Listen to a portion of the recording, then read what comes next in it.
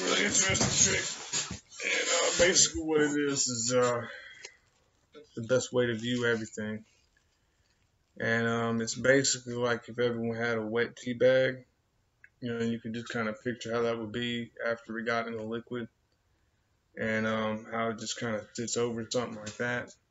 and just picture every single person like they're just sitting there like you know, like completely depressed. And, um, you know, just see how people can be like that and just how it just sits. Because I, I spent my whole entire life just feeling like I had to keep myself up. And I was just sagging the whole time, just hanging there, you know, like this tea bag. And, um, and probably another good way to explain it, kind of like this you know, just how, you know, you can just see how dead people really are because every day all people are doing is just trying to kind of move this a little bit, you know, and just kind of hang there like that. Because when you're dead, um, something I like to call, uh, I don't know, um, I was going to call it kind of like a Smurf weight. and it's basically when you look at the uh, seven dwarf, or dwarf. You know, you know, um, if you smoke crack one time, you'll kind of understand it. Um, but basically, when I smoked crack, I felt I only did it like a few times, but I learned that if you smoke crack, you know, it feels like there's a uh, ball of styrofoam about that big in your head, and it just kind of like clunkers around, you know. You watch somebody walking like this, you know, and you can see how that feels if someone was like a tea bag, you know. And you can just see how when you're dead, you know, your body is, you know, kind of like moving like this. ha ha ha ha, ho ho ho, Merry Christmas, you know, boing boing boing. Child playing games. Oh, what for? You know, and um, just the way that is um, really gives me some good sounds to feel. And it also kind of lets you know that there is really no laughter when it's like that. And everybody has this still moment where everyone is like that. Know, when you feel that, you know, you realize that laughing and every other thing is completely flat and there's nothing in there. Just something that just hangs there. And um, it, it's a form of weight, you know, and I think it's a live weight. I think it's the weight of, um, like, it is the medium I'm speaking of, you know, like when I said that, you know, there's a clenching and a letting go, and there's a little area in here that um, is also alive and does move. And like, if I shift my weight to like this area, you know, it seems that like my butt area would like kind of shift it over this way or shift it this way, but then I could still be doing something else and it seems to be empty.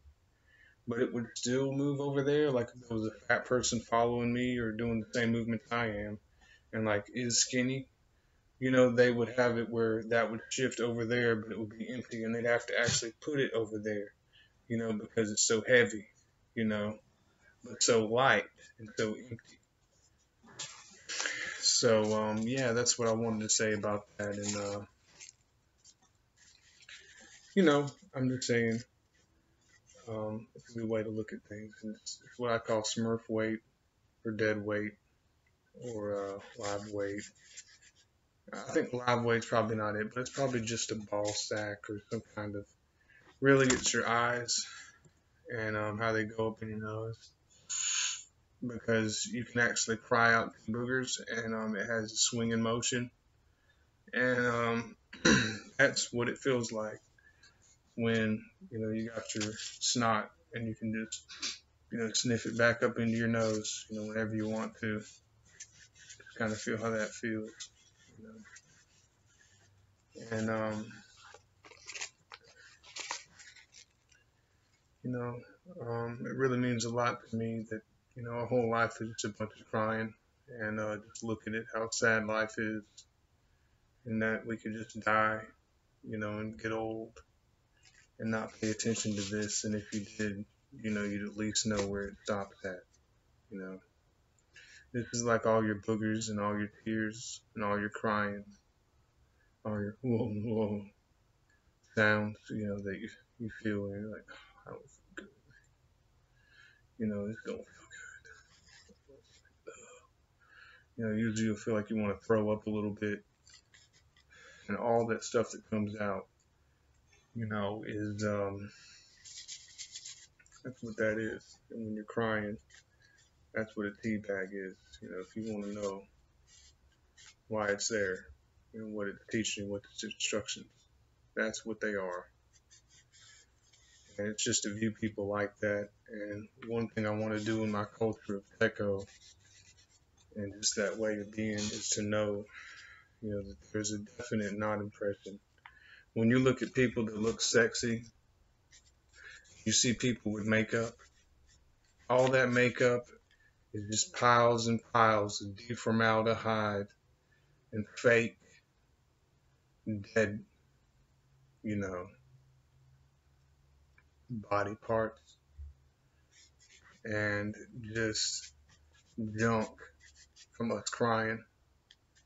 And um, I mean, you can just see anyone who looks like a clown and it looks like it's smiling. It is not smiling and it is not happy.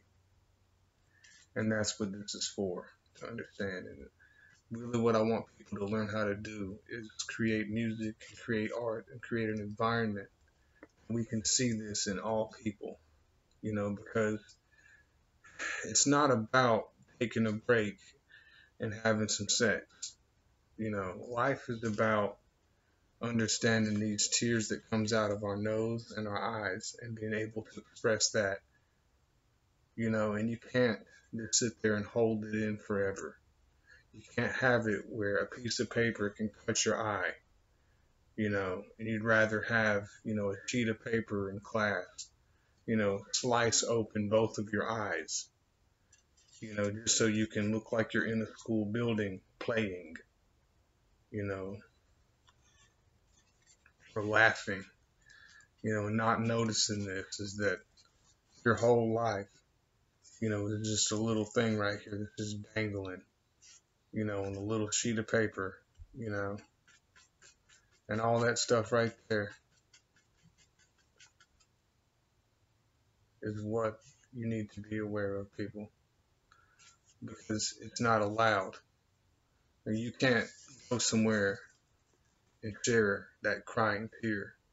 You know, you can't share the fact that you want to cry all day long because everybody looks like they're going to die. Everybody that sits down, uh, they could just like, you know, that's it. You know, and then grandpa gets up, you know, and you see his beard going into your eye receptacles. You know, it's like mm, you know, it's like a Nintendo cartridge and it just pops back in for the next time. You know, it's like another tooth, just another denture, just and oh, that looks good. You know, and I mean, just seeing the stripper is just disgusting. And um, it's just that part of it, though.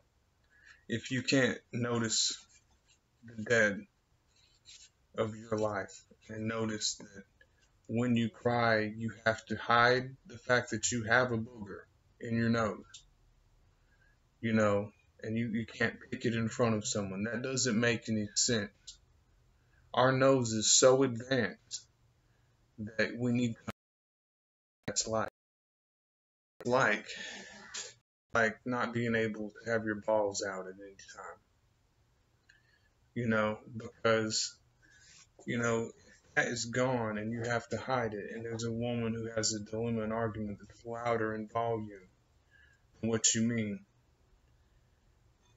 You know, it seems like this is just not doing its job. You know, when there's people having periods with their swallow. You know, it doesn't seem like it could get any more beautiful if you know what I mean. Really understand me on this, you know, support me, you know, and please understand it.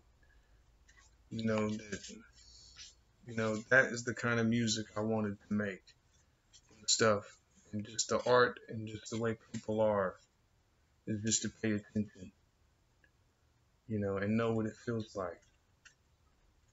You know, just to have that mass. That mass is the same mass that makes you clench up those muscles that you have, but doesn't let go because it has those. You know, because you have more than just some sweat dripping off of some person in the gym, you know, so you can smell their armpit. At most. You know I mean? And it's not funny, you know what I mean? I don't like you, you know what I mean? You need to know. That's what country music's all about, too, I think. I don't like country music because I don't think it really explains. I don't think any music will explain it so far, actually. But I wish that there could be something that could actually explain how dead everyone looks to me. And I can just see, you know, those lacks of expression and just that somebody can say one thing and never, ever again in their whole life be able to say something to someone. And all they can do is just have little small clues about what they're doing in that day, in that moment. It's like they can't make it to that other spot. Figure out what that means. Learn this, you know.